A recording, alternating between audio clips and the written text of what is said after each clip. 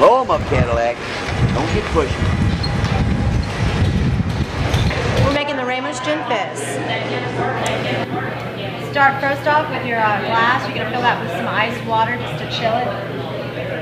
Two heaping uh, tablespoons of powdered sugar.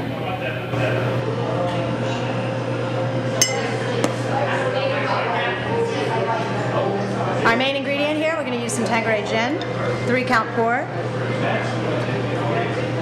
Just a splash of uh, triple sec. Some of our house-made sour.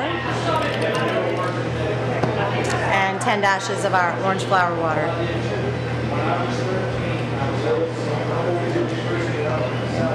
Now we're going to do a dry shake. Just to break up the powdered sugar.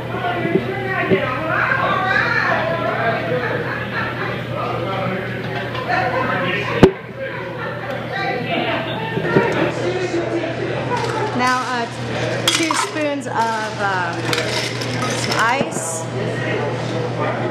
little egg white.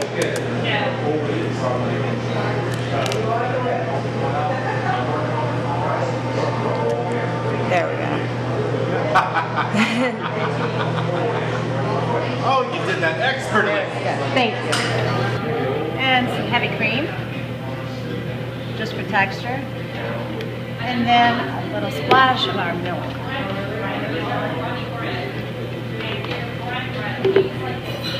Give it another nice hard shake.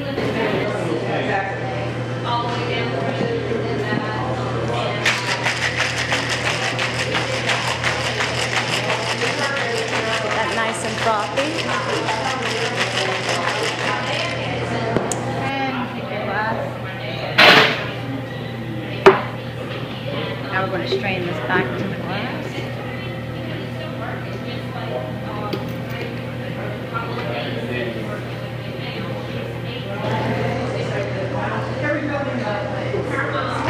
And the fizz part will be just a splash of soda. And there you have your Ramos Gin Fizz. All right. That is a complicated drink. Cheers.